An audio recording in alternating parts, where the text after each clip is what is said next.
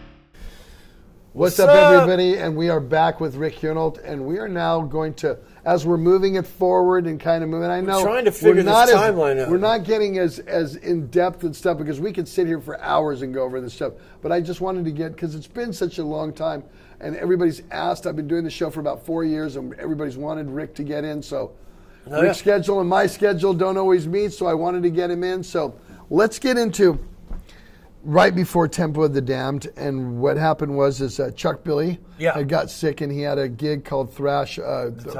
Thrash of the Titans, which was a cancer benefit, and it was the first time where a lot of bands got back together for the first time Dude, to that do was a this. serious lineup, bro. Um, talk about Right? um, talk about that.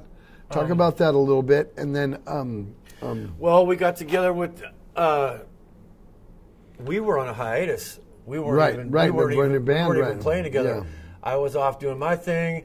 Gary was doing War Dance. Yeah. Remember? Um, Gary and Tom were doing War Dance. Um, so we, hell yeah, we're gonna do this for Chuck. Um, so we get together. I don't even know if we, how much. Paul was still with us. Okay. yeah, So- because I like I did sing with Exodus that night, but only Oh, Brain this Dead. Is before this is this is okay. Thrash of the Titans. Then we do this sh- set for Chuck, and then we decide to get back together Right. and do a lesson of violence, another lesson of violence, the live album, right? No, Lesson of Violence that that was already done before then. You did that before and did that. That was ninety eight. Yeah, that was ninety eight. We're talking around two thousand and one now. Oh wow! So we did it with another. already did it, but you guys went. Yeah, you did that. You went on a long, lengthy tour.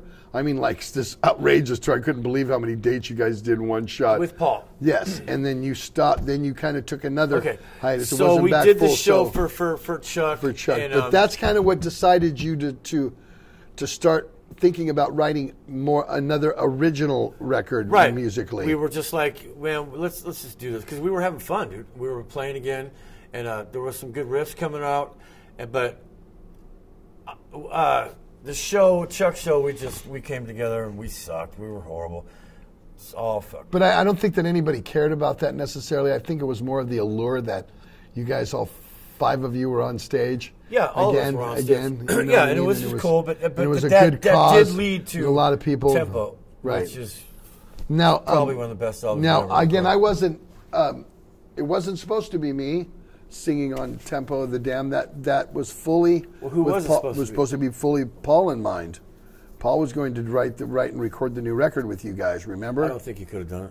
regardless of what he could have done, that was the conversation. Because remember, Paul had had a stroke prior, and you guys had a band meeting. I remember Gary telling me this, and you guys had, and you could tell that he had some trouble with his speech. Yeah, but you know what, dude? You know that's the tragedy.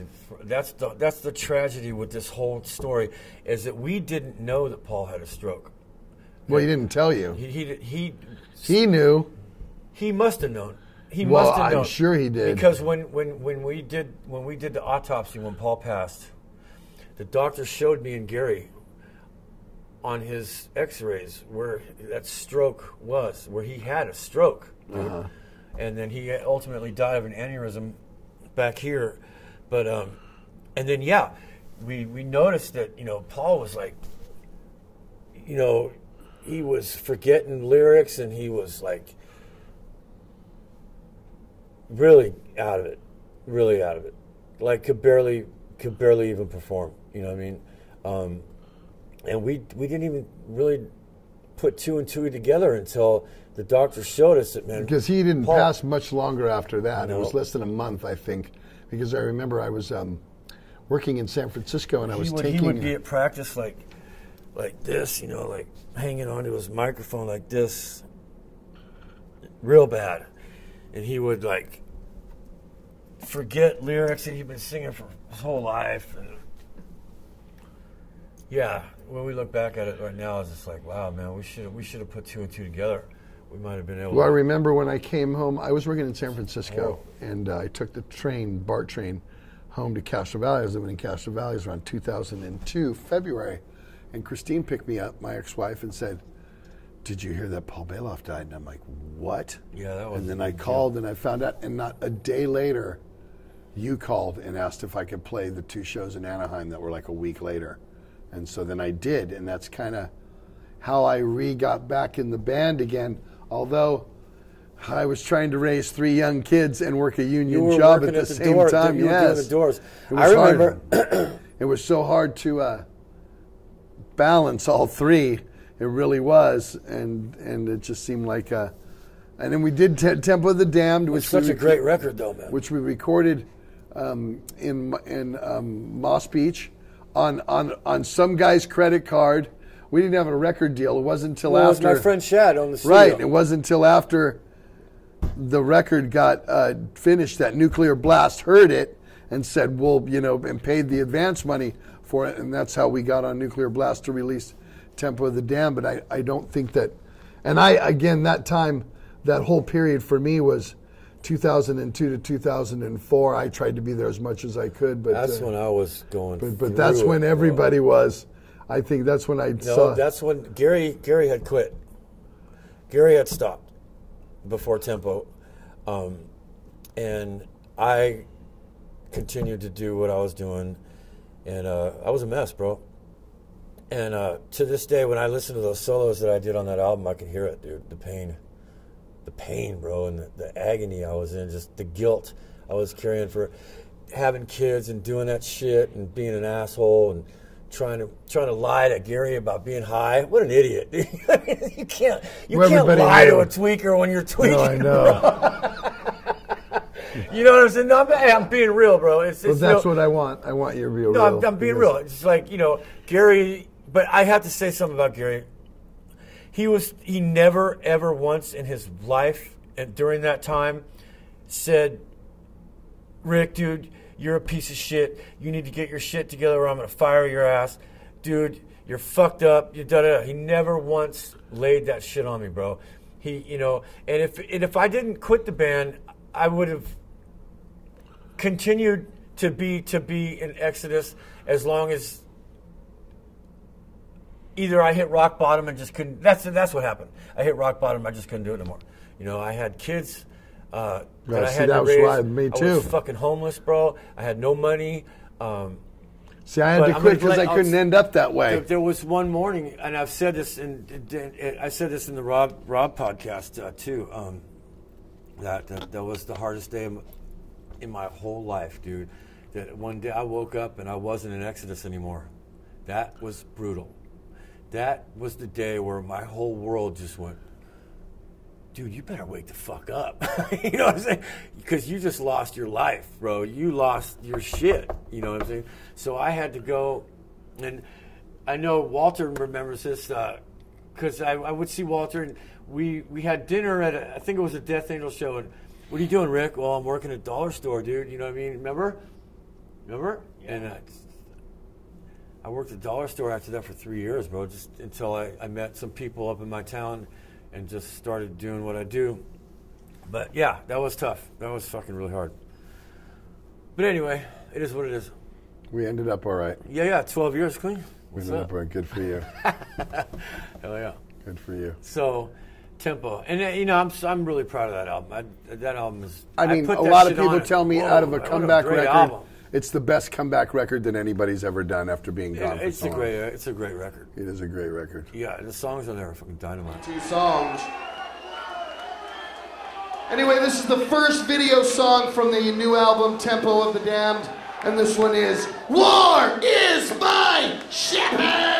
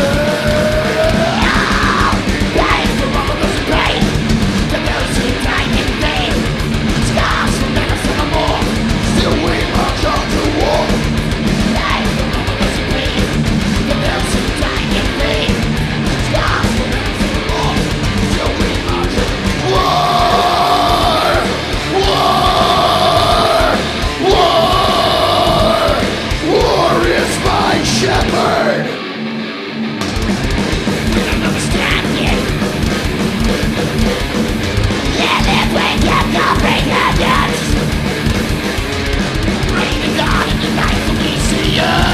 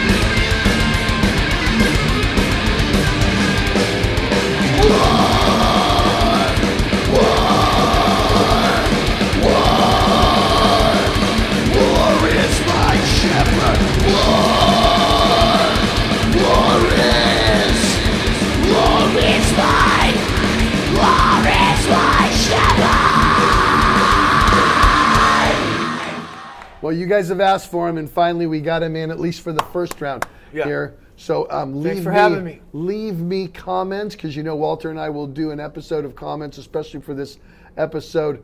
And if you haven't subscribed, back for sure. please subscribe. It doesn't cost anything. You just push the little subscribe button, and it tells YouTube that people like what we're doing here and they dig it. Um, thanks for coming in, bro. Talks all. Hell yeah. Love you so much. Al- Always. You guys, you know what to do. I'm back for a little while. I do have a South American tour that I'm going to be doing, but after that, I'm going to be home. So I got a lot of guests lined up, a lot of things happening on the vault. So you know where you can catch it. Otherwise, there's close to 400 episodes up there now. You could either go watch an old one, yeah, something Damn, like dude. that. We hit it hard for a while, but if not, uh. I'll see you guys in Zetros Toxic Vault.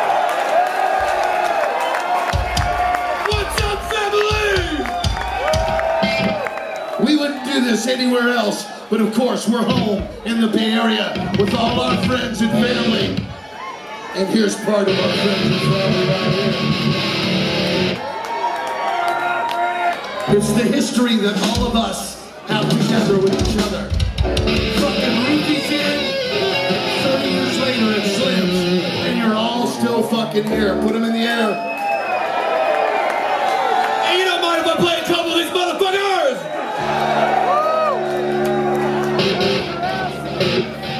motherfuckers! We ain't done this one in a long time, too.